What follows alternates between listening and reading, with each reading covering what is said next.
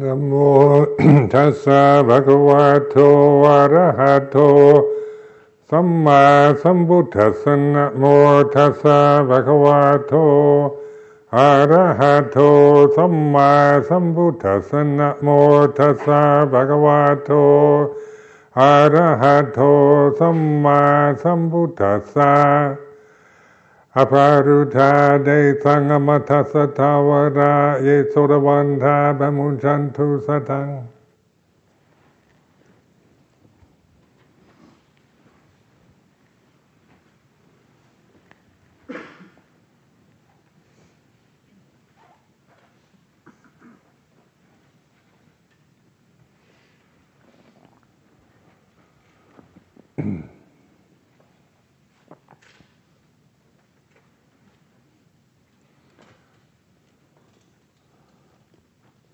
So this evening, opportunity to reflect, contemplate Dhamma or the, the way it is.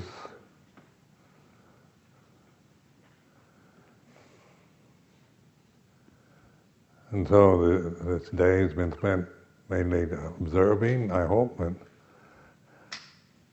taking refuge in the Buddha Dhamma Sangha.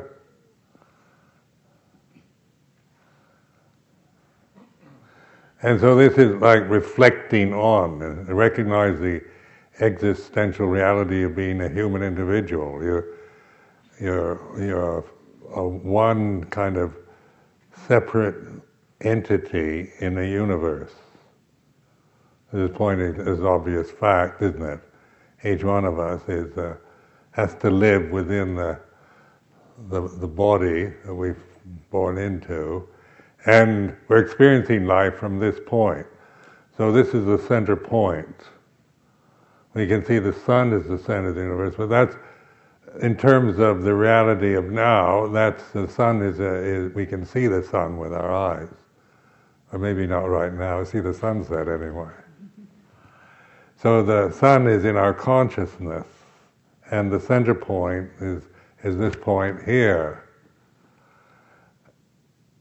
uh, we, we, we can give, uh, you know, our commitment to scientific uh, uh, doctrines, teachings, and so forth, because you know we we quite uh, they're quite skillful and good, many of them. But what what I'm pointing to now is reflecting on the way it is, not on uh, not from the position of God that is the center and knows everything about everything but from this position of being this mortal being sitting here. And so this is, uh, in, in terms of our reality, what we have to live with, this is, this is the center point of the universe. now this is not Sakyaditi in terms of me, I just made I'm the center of the universe. I mean, that, that's preposterous, but it, it's pointing to uh, uh, the Dhamma, the way it is, that each one of us, each creature, in fact, you know, the deer and the turkeys and the ants and all that, they're, they're experiencing this universal system from the limitation of their forms. And so each creature is the center. Now, and this is just pointing to the way it is in terms of here, here and now, Dhamma. now, that, that if we put it into Sakyaditi uh, pattern, then it's like I'm, I'm creating myself as God, or you know, I'm some, you know, I'm the center and you're not. That kind of but I'm not. I'm not. making claims on that level, you know, but just pointing to what life is for for for yourselves, why life is this way. Uh, you know why we suffer and why we, you know, we have to bear with all kinds of conditions, changes, the karma of this universal system in both its positive and negative aspects. And we experience it from this point of consciousness. So then this is the subject-object reality. You know, we, because of the form, having a human body, we, we, the, we can be aware of the objects that arise and cease in consciousness. So, in terms of this uh, moment, you, you, you know, you, you're reflecting on the way it is, on whatever you're feeling, you know, uh, emotional feelings, memories, uh, um, thoughts, views, and opinions, fears, desires, and whatever quality, quantity, or whatever, the, that this knowing of them is, is seeing them in terms of all conditions are impermanent. Sabbe sankhara anicca. So this word sankhara is a Pali word that includes all conditioned phenomena. Conditions are impermanent, they're anicca, they arise, they cease, they're born and die. So that applies to, you know, your own experience here and now. Your thoughts arise and cease, your emotions arise and cease, your memories arise and cease. Born and die, your memories are born and then they die. So there's a dying going on all the time in the human human experience, but we don't, uh, you know, we tend to not pay attention to the end of things. We're the desire for becoming is so strong that we're always looking for the next thing. As soon as we uh, get bored or fed up or whatever, we look for the next exciting rebirth. so, like looking for happiness, you know, you, we, you know, with meditation, like what we're doing here, we're actually learning to patiently observe the process of birth and death as it happens in our mind. So that's why you, you know, you're willing to sit through boredom and pain and despair and all these negative states that that uh, you know in most cases, most uh, modern uh, situations, people don't. You know, they can't be bothered with it. They've got to. As soon as you feel bored, disinterested, fed up, despairing, disillusioned, you you seek something else. Either you eat something, switch on the telly, call your friends on the, your cell phone, play around with your computers, surf the internet. There are so many distractions now, so many rebirths.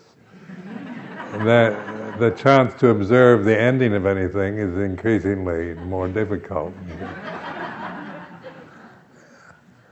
They say in the old days where there wasn't all this, and one did have to say in a cold, long winter, learn how to bear with, you know, patiently while you're knitting socks or doing something. so there's a kind of wisdom developed uh, that comes through patient endurance. But in modern life, the, well, the, the stress factor is because there's so many immediate distractions. And like going to Thailand now, it used to be uh, you go land at the airport in Bangkok, and and as soon as they'd open the door of the airplane, this heat would kind of suddenly overwhelm you. The heat from Bangkok. The plane was air conditioned.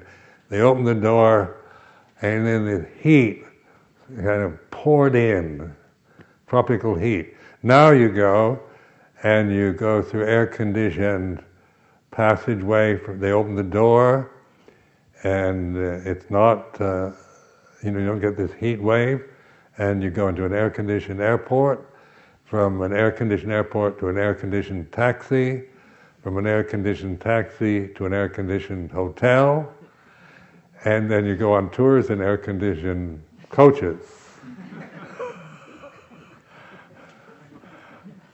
so you don't have to, you can always, you know, find this level of comfort that that we we demand now. We're more demanding of this as a continuous kind of experience of comfort and ease, and not and feel irritated when things aren't comfortable, when Well, you know, we, the, the aging process, sickness, loss of the love, the, the, the boredom, the disillusionment, all these are part of human experience that we, we tend to ignore or dismiss or resist.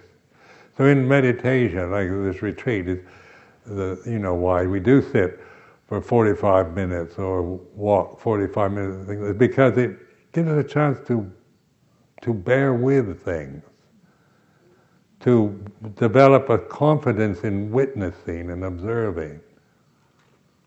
It's not just for sakyaditi to make me more patient.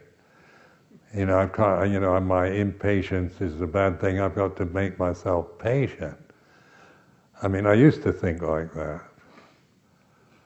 But that's still, you know, want, wanting to get something, uh, you know, I see something wrong with myself and I don't like it, and so I do things to kind of punish myself and make myself better.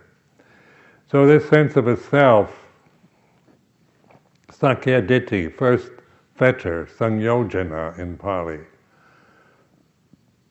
Now the, these first three fetters is very, because they are artificial fetters. They're, they're made by human ignorance. Language and cultural conditioning and the ego, the self view. So they're not like consciousness or the body. The body is dhammachat, it's natural. Uh, we didn't create it, and consciousness we didn't create. But we do create ourselves as separate personalities, egos, sakkaya So this is, uh, in uh, you notice the po- political, social, economic problems all around this, uh, this, uh, this delusion of a self, cultural attitudes and prejudices, religious biases, views and opinions that um, people have, uh, you know, and, and, and believe in, and willing to die for, willing to kill for. Because, you know, to defend democracy against the axis of evil, we're willing to kill to, to preserve this sense of democracy. And so this is, this, this is, these are, this is all sakyaditi silabbata paramasa vicikiccha. So you see our governments and the society is based on ignorance, avijja not understanding Dhamma. So this word avijja is a Pali word meaning not understanding the, the truth of the way it is. So we operate from the illusions, from the conditioned attitudes, from prejudices, biases, cultural conditioning, ideals of how things should be. Uh, we, we create ourselves as uh, you know, fully committed to our personality uh, and viewing ourselves in various ways, positive and negatively. So that's where this this encouragement to really get to know what Sakyaditi is in this retreat. You know, say, I am an unenlightened person practicing now in order to become enlightened in the future. I, uh, and as I was saying yesterday, I deliberately create this, but I listen to it. My relationship to it is listening, not judging. I'm not, you know, I'm not making any comment about it as good or bad, right or wrong. It's like this this sense of I am somebody, I am not good enough, I am unenlightened, I need to do something to become enlightened. This is all about the sense of sakyaditi, wanting to get something that I that I think I don't have yet.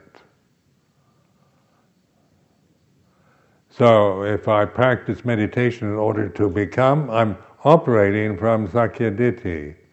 And that's why now I really try to avoid any kind of reinforcement of sakyaditi, you know, being a, in a teacher's position. You know, trying to tell you how, you know, what's wrong with you or how you should practice or, or you know, get you to, to just reinforce the sense of yourself as this person, this personality with these limitations and, and reinforcing your identities with the conditions. So if you notice, my aim during this retreat is not to reinforce Sakyaditi, but to encourage you to get to know it. I'm not against it, because it's a part of our conventional way of living with each other. But to see it so it's no longer a fetter, it no longer is the cause of suffering when you see it for what it is. And of course, in terms of Dhamma, what it is is anicca, dukkha, anatta. So this word anatta, non-self, is, uh, is a strange word in the, for most of us in the beginning because uh, we're, we, you know, we believe so much in ourselves. You know, one thing, you know, I remember when I first started meditation. You know, I could see anicca and dukkha quite easily, but anatta, one thing I do know, I'm here. I'm this person. And I have these, I feel like this, and this is, this is my, pro- these are my problems. And then for the first couple of months, three months almost, in meditation, I just had anger arise all the time. My anger, you know, I didn't want this anger. I wanted tranquility and peace. I ordained as a monk to have permanent peace and bliss. and the first three months, all I got was anger.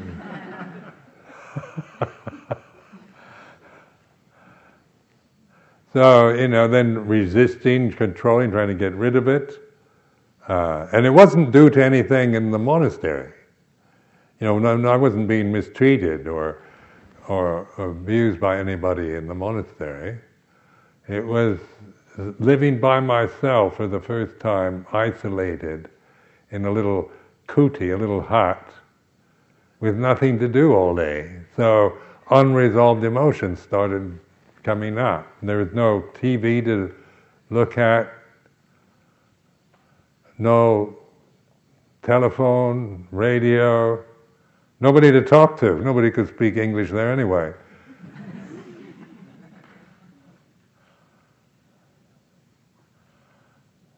and so, you know, the, you had no very, it, it was very difficult to distract. So you had to sit there and, and just bear with unresolved emotional conditions that had been suppressed for a lifetime. I was about 32 years old at the time.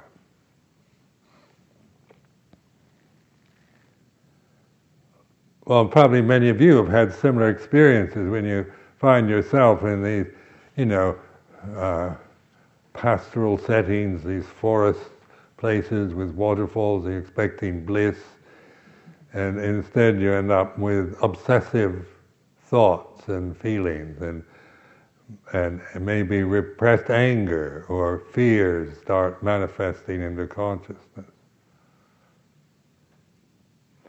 But then, in terms of Dhamma, we're looking, this is the being bearing with this, being patient, accepting, welcoming it, in fact. So, this sense of welcoming, I found a very a skillful means that I had to develop because my tendencies to resist what I don't like. So I could see this, this really uh, habitual resistance to certain feelings. And a lot of it was real conceit, like, uh, I can't be bothered with this, with this silliness, these stupid, nonsensical thoughts. You know, because, you know, I'm, I'm an intelligent man, and I can't be bothered with trivia. I only deal with real Dhamma, serious questions, and things of great importance because I'm such an intelligent, gifted, special person. And you listen to yourself go on like that, you realize this is, uh, you know, sakyaditi, self view. I'm, I'm, I can't waste my time with nonsense and trivia. It's, you know, it's a real sense of I'm, I'm above it all. So you listen and you, you hear your own conceits, pride uh, manifesting, but the, but don't, it's good, you know, to, to see it, to be the Buddho, seeing it in terms of Dhammo, rather than judging and saying, oh, you know, I'm, I shouldn't feel conceited, I shouldn't be proud. We all know what we should or shouldn't be, don't we? That's, that's not a great discovery, but it's, uh, but it's, uh, it's, uh, this is what, what arises. Like I, I, I always had the idea that I wasn't conceited.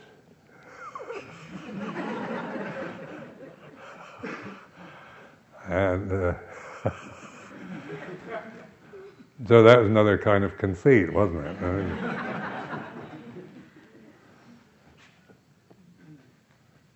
So this sense of listening and, and even nonsense, because of my pride and my sense of can't be bothered with trivia, nonsense, rubbish, then a lot of, you know, of 32 years, there's a lot of suppression of things that, you know, I just I can't be bothered with that.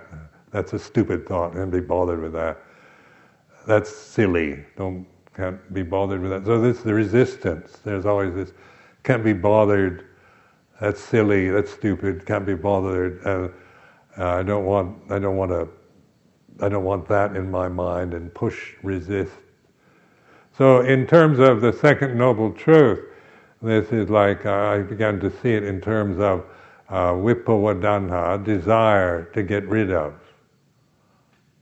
Now this was quite a revelation because I saw, you know, desire is always, the word, English word desire usually has a kind of pejorative meaning like it is always slightly not, not, very good or wholesome to have desires. But um, in, in Pali, the word tanha, translated generally into English as desire, you can have good desires, wanting to be a good person, wanting to become a good person, wanting to uh, help others, wanting to be become, be altruistic, uh, you know, these are good desires, noble desires. Some other desires are mean and nasty and and uh, conceited and and ugly. But desire is not about you know it is an energy. It's it's not you know it's something that arises and ceases according to conditions. So in the second noble truth, you're, you're investigating desire. Get to know desire. Not get rid of it, because that's vibhava isn't it? Desire to get rid of desire is, the, is still desire. You're still stuck with this. I can't be bothered with these uh, bad desires, so I will ignore them, resist them, suppress them. And then, of course, you pay the price because what you suppress, you're really reinforcing. And it'll come out sometime. And you know, we find ourselves suddenly uh, enraged or somebody doing some trivial thing because we've suppressed anger for so long, and then somebody uh, uh, slams the door and we, we blow up. Or we, you know, we're we're, we're in a situation where we can't distract ourselves. And so fear becomes, we become frightened and paranoid of everything because we've suppressed that.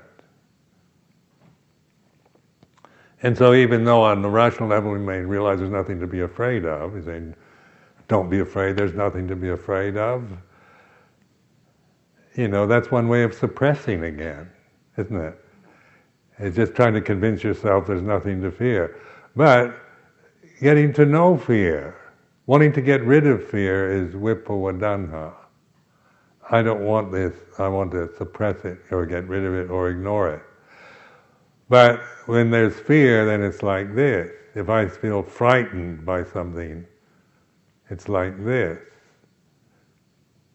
So I'm welcoming emotions that before I resisted.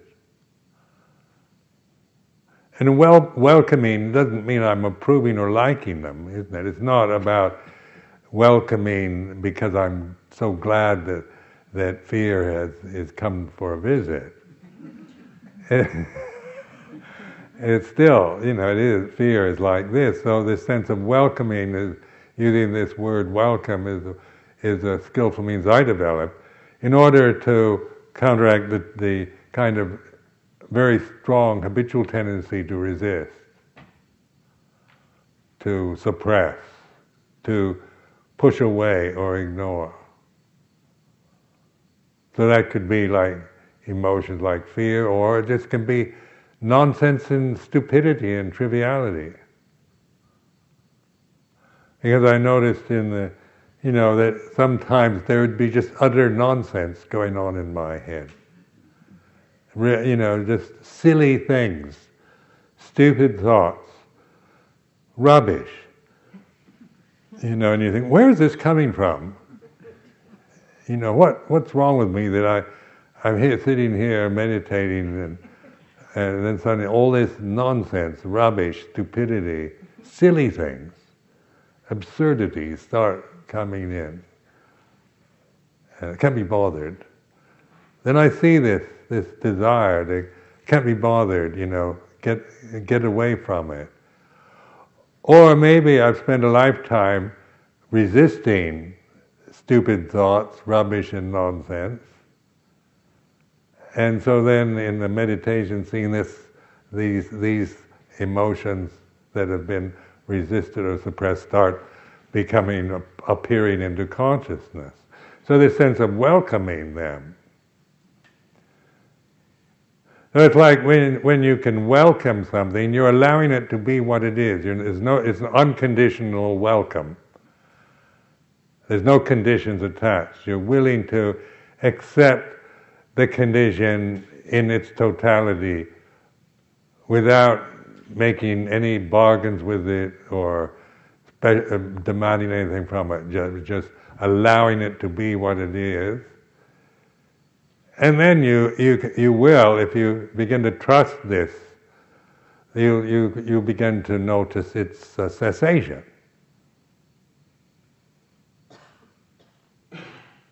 Then this way, because you're willing, allowing stupidity or fear or these things to be conscious unconditionally, then then you then you will begin to also recognize that they're changing, they're anicca, dukkha, and that they, and their absence when they cease. So this is like panya, or wisdom, discerning the, the, the arising and ceasing of conditions. So when there's some questions here about sound of silence, so I found that this sound of silence practice gives this, uh, allows this continuous uh, mindfulness, uh, a kind of sustaining mindfulness with the sound of silence, which welcomes everything. It's not, sound of silence is not a noise that hides things or suppresses anything. You can hear it uh, behind all kinds of noise, music, and uh, and I've trained myself to even in, like in um, Amaravati, the, we have a lot of uh, grass to cut, you know, lawns to mow. And we have these, uh, uh, you know, these lawnmowers that make a lot of noise. So I can hear it, the sound of silence, and then I don't develop irritation towards the lawnmower. A lot of the monks and nuns do. They just get irritated by noise. But, uh, and I used to also, but I, I see it as an opportunity to to uh, to really to, to pay attention, so that I'm not being caught up in my aversion to uh, the sound of the lawnmower.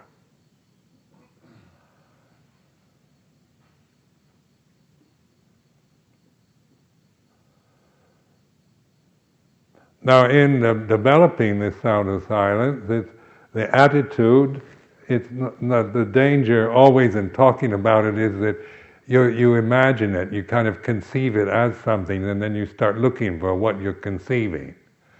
So even the word sound is, is kind of misleading because uh, it's, um, you know, you think of it as like music, or maybe you're looking for the uh, angelic chorus, something like that, where angels start, start singing, or harp music. You know, like something pleasant like that. But uh, you know, think of the cosmic vibration. Then you're then you're conceiving it as something very special, you know, and very refined. So naming it even is, is a, is, you know, is, uh, the naming is merely a pointing, it's not a description. It's not a definition.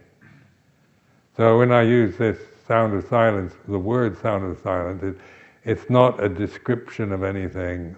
It's merely a, a words that point, or hopefully uh, help you to recognize it. So to recognize this is just opening. This, if you're looking for it, you'll never find it. You, you just recognize it. So it's an attitude of relaxed attention, openness.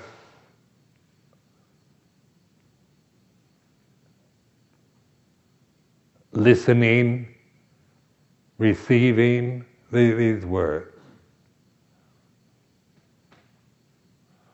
And then you might hear kind of like a a kind of high, higher pitch um, vibration or sound, whatever way you want to describe it.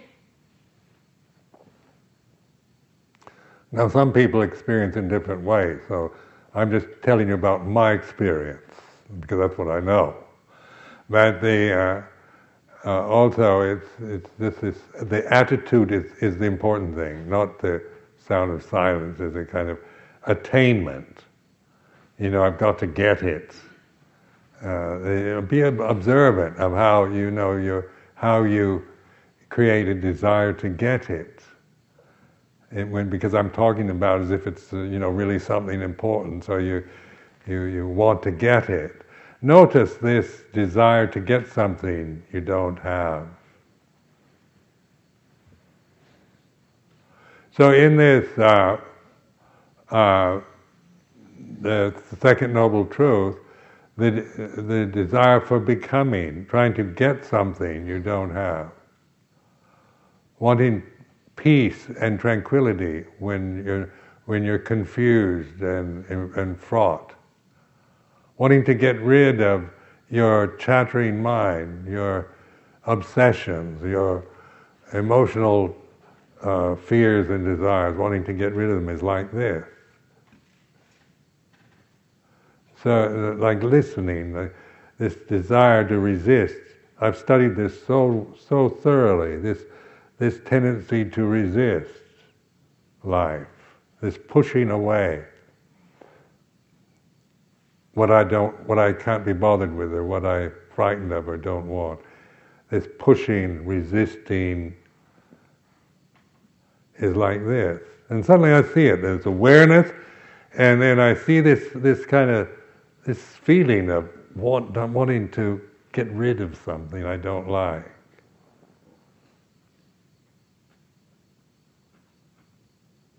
Recognizing that that's Vibhava-tanha. These, the, the value of the Pali Buddhist tradition is that it gives you really good vocabulary to use. It's not, it's not modern psychology or, or science. It's quite skillful uh, vocabulary. Pali, Pali teachings like the Four Noble Truths, the uh, dependent origination is something really worthy to, to use. Or this uh, ten fetters and four stages. So the four stages, stream entry, we make a big deal about that. How many of you are sotapannas, you know? And are there any arahants in the room? Some of you have been meditating for years. What, what are you, a sakadagami or an anagami? I mean, people come to me and ask me these questions. what have you attained, Ajahn Sumedho? Are you a stream enterer yet? or an arahant. I haven't attained anything. Now that is is like uh, you know that I mean you spent 42 years of your life your your youth is gone you're an old old man and and and uh, you know celibate for 42 years and you've just got nothing for it. What a disappointment. That, or you haven't attained anything. But this is, this is why that, that way of thinking doesn't work anymore. It's not about attaining. These words are dangerous, uh, attaining and achieving, because they do, they are reinforcing sakkaya-ditthi. Because my ego, my sense of my self importance depends on success, on attainment, on achievement. You know, having, spending 42 years in the monastic life, I've attained something. You know, I've really, you know, I've gotten something out of it. I'm really, uh, you know, I think I'm an arahant, you know? and uh, at least I hope I am, maybe, I'm not sure yet. but the ego will, you know, is like that. It's about you know, I want to get something I don't have yet. I want to, to uh, you know, achieve something. I want to be successful. I don't want to be a failure. These are worldly dhammas, isn't it? To, in the States, in America, to be a failure is really, you know, that's what we dread. Being a failure is like worthless person, failure.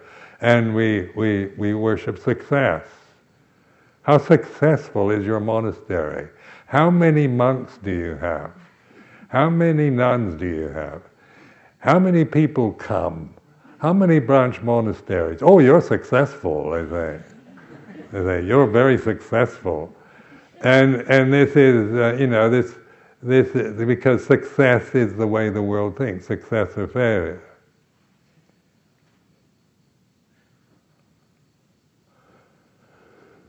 But in uh, Dhamma, it's not about success or failure. It's about letting go, relinquishing, understanding. And so, you know, your, you know, the consciousness is not something I, you know, I'm, it's not mine. When, when I'm, when there's mindfulness, sati sampajañña, the sense of me as a separate person arises and ceases in that consciousness. Because I don't sustain it, I don't try to hold on to this sense of me as somebody, a person that's attained or has achieved or failed at anything. It doesn't apply anymore. It's not about me attaining stream entry or becoming an arahant. These are merely conventions to help you to reflect on your own, on the reality of your own life. But they're not meant to be sakkaya-ditthi, because sakkaya-ditthi is the first fetter that blocks off stream entry. So anyone that goes around announcing they're a stream enterer, I wouldn't trust. not to mention an arahant, because uh, you know, when you know you can overestimate your ego will, you know, will you know can really delude. Mine can is a very deceitful ego I have. I don't trust it. It lies. It tells lies. My ego does. So it's untrustworthy. But this awareness then is, uh, is not about you know, me uh, as being specially gifted with awareness. It's natural. It's recognizing real, it's real. It's anatta. It's not sakkaya-ditthi. So anatta, no self, is this. It's this pure awareness. And so it transcends your thinking process. So when you try to figure it out, you you'll get uh, yourself into a confused state because thinking will just cause doubt. And am I really? Is, I, is this really anatta, or am I? Have I got it wrong? Maybe I'm just fooling myself. Maybe I just believe that I don't have a self. When maybe I really do, I'm just deluding myself. I, I want to feel I've gotten something out of 42 years, so I, I'm trying to, you know, I'm modest, and I feel I'm quite a modest person, so I'm not going to make great claims. So, you know, I've heard monks and nuns do this. They, well, you know, I haven't really, you know, but I'm still one of the puthujjanas. That means a totally unenlightened person. So they, they think that false modesty is, is uh, better. But it's another lie. It's another deceit, another sakkaya-ditthi. You know, I've just I've just become a nicer person. I'm more content and, and a little happier than I used to be. And it's very modest, very English.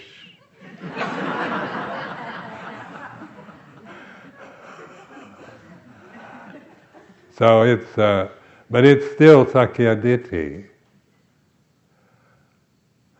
So notice, like, like sakkaya-ditthi is you create it with thought. I am. I am this body. This is my body. I am American. I am Ajahn Sumedho. I'm a Buddhist monk. I'm a Theravadan Buddhist monk. I, my teacher is uh, Ajahn Chah, and I'm disciple of Ajahn Chah, and I'm, it goes on and on, this is mine, me and mine. And, and but you can listen to this. You, you're the observer of this sense of I am this way. I want to become something. I want to get rid of something. Is like this. So these three categories of desire I found extremely helpful to, to begin to just notice what it is. Because we can operate in meditation with vibhava-tanha.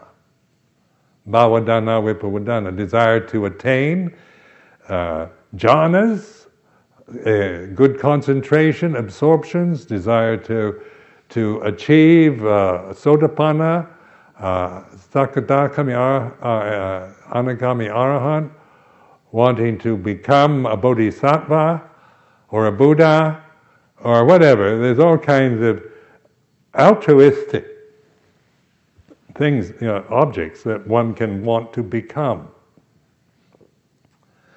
Now, it's not that this is wrong, but it is still bhava-tanha. I'm not a bodhisattva. I'm still self-centered, and uh, but I hope in this lifetime to purify myself enough so I can become a bodhisattva. What is that? What is that? That's that I am, you know, so far I'm not this, but I hope to become this in the future. Or maybe in the next, next lifetime. If I keep all the precepts and practice hard, I might, hoping to be reborn as a bodhisattva in the next life. And I know Buddhists that want to become Buddhas, the next Maitreya Buddha. They hope they're spending this life doing good works, which is admirable. It's not, not, not to be disparaged, but they still missed the point of the, the directness of the Buddha Dhamma.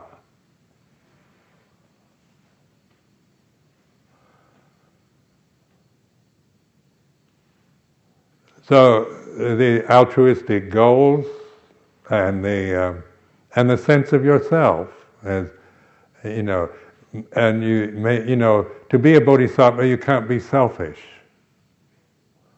everything. The last blade of grass is, is you're willing to put off uh, final nirvana until the last blade of grass is enlightened. Well, that is incredibly unselfish, isn't it? Especially when you live at Amaravati where there's grass everywhere.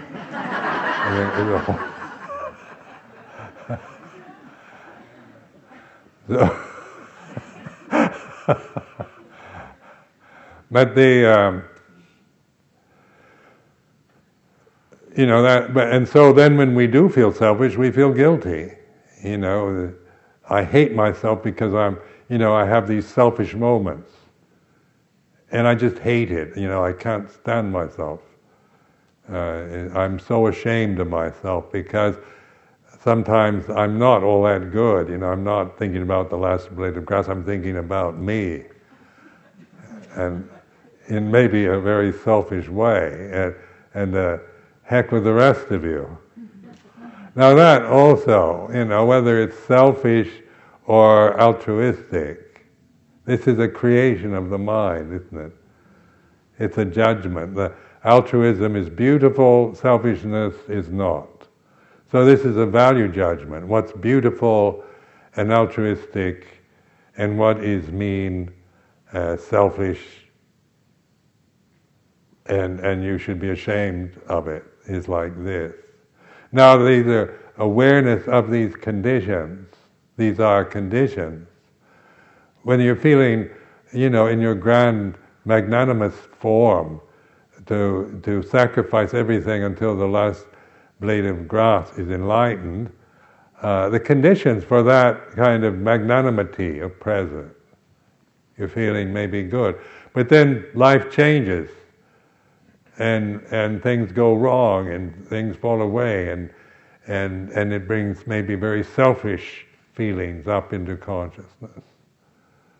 So in terms of you know see, contemplating Dhamma, the Buddha knows the way it is. All conditions are impermanent, whether they're beautiful and grand, magnanimous, or mean, selfish, and nasty. All conditions are seen in this way of anicca, dukkha, and anatta. So they call the three characteristics of existence. Uh, because these, these three characters common to all conditions, whether you know it's it's beautiful and refined or coarse and ugly. From the the physical body, the planet, the earth, the the you know the gross elements to the most refined levels of of concentration. Anything that the, the all conditions, the conditions depend on other conditions for their presence. And when the conditions change, then then uh, say supporting a magnanimous uh, state of mind, then you can't sustain it. You can't sustain that as an ongoing, permanent state of, of consciousness. But what is self sustaining, that you don't sustain through will or desire, is awareness. So, this awareness then is recognizable. Now, what I developed over the years with the sound of silence is, is really recognizing it and then sustaining it. Like like floating on a stream, maybe counting to five a, while listening to the sound of silence. I go one, two, three, and I'm listening to the sound of silence. It's a way of keeping the mind focused on this. Or mala beads, you can use mala beads, you know, one bead, sound of silence and things like that. Ways of, I, I have notebooks in my uh, kuti, uh, just written, you know, pages written silence, silence, silence, or Buddho, Buddho, Buddho, and just you know, but each each time I write the word silence, I'm listening on the sound of silence. So this is one way of, of beginning to recognize, sustaining this that we kept learning to rest in it, to open to it. So it becomes, it's a natural state. And then no matter how many times you get, lose it and get carried away with, with your emotions or thoughts or anything, you, you have this, this remembering, you know, sound of silence. And then through the years, this, this becomes stable. This, this still point, it's, it's like it's uh, stabilized. It's just natural state that you don't, you know, you notice at any moment. It's recognizable all the time. So even now, as I'm talking, I can, I'm aware of this sound of silence. It doesn't stop me from talking. It's not like concentrating on an object where you have to shut down and focus on one thing. This has this expansive uh, sense of embracing life. So it, it's whether you're washing the dishes or walking jongrom or whatever. this is still the this uh, sense of stillness is ever present.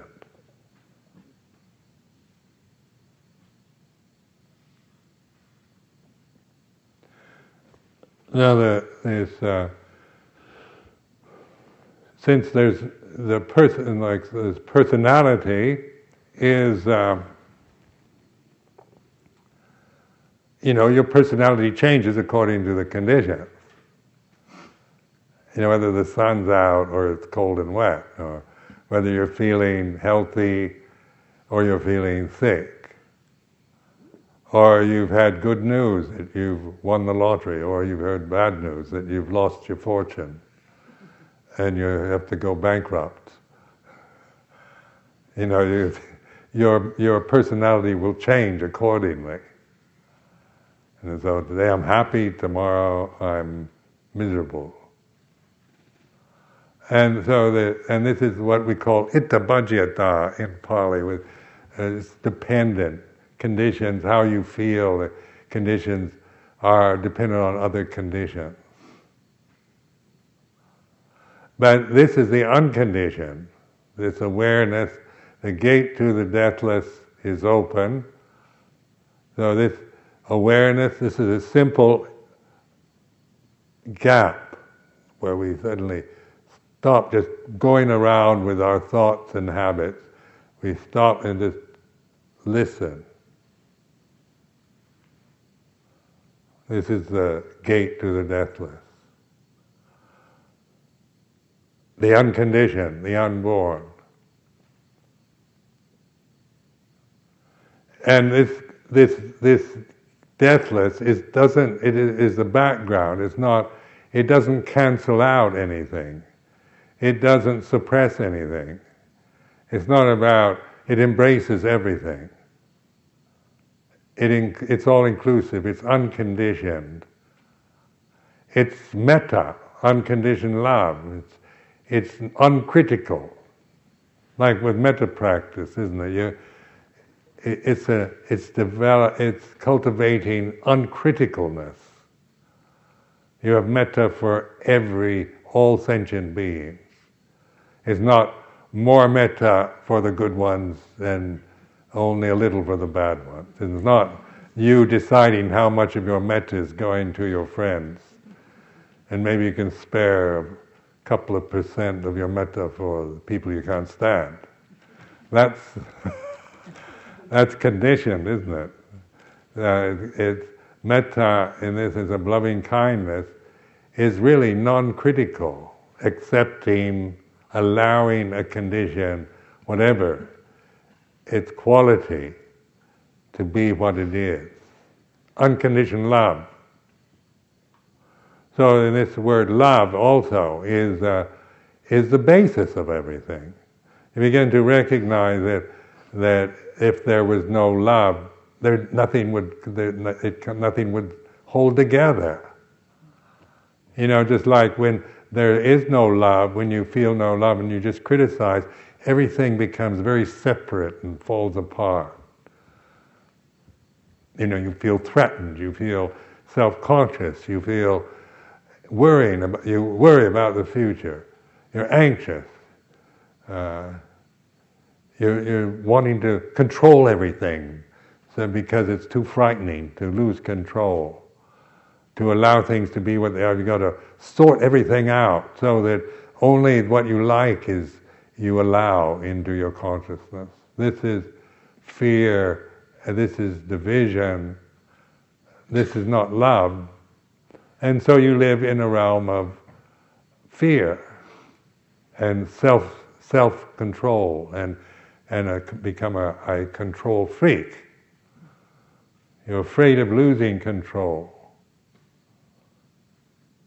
So in this way, this uh, this uh, awareness, the gate to the deathless, is the door, the gap in the samsara that transcends the samsara, where we can see the samsara or the conditioned phenomena in this way of loving kindness, metta, or with awareness, allowing conditions to be what they are, whether they're external, allowing other people to be the way they are. How many of you, you know, always have conditions about other people? You want somebody to be other than what they are. You want the society, you want some, uh, the uh, spirit rock, or you want something to be something else. You can imagine it better than the way it is or some, you know, in the monastery, uh, you have to live with people who, you know, you personally may not like very much.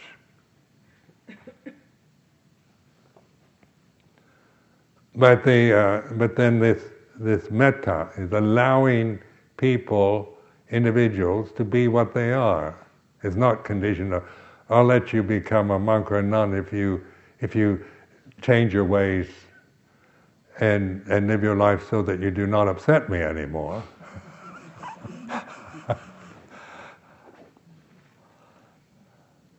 so it's like, you know, you're, you're coming from this self controlling, uh, centered personality to this expansive, all inclusive, you know, uh, relating to all conditioned phenomena with welcoming and understanding, with metta. And that's mindfulness. Sati sampajanya, sati pañña.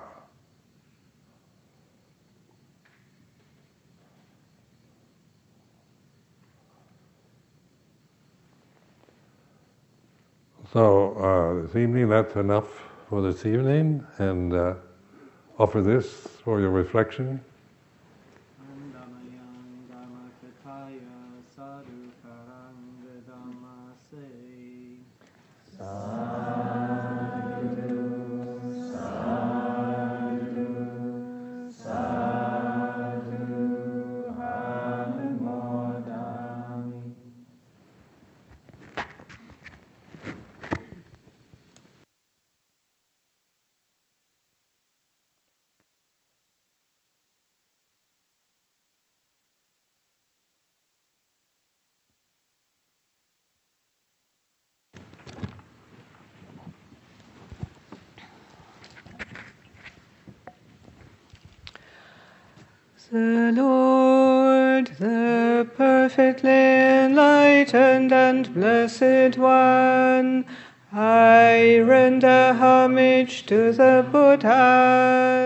The blessed One. The teaching so completely explained by him I bow to the Dhamma. The Blessed One's disciples who have practiced well, I bow to the Sangha.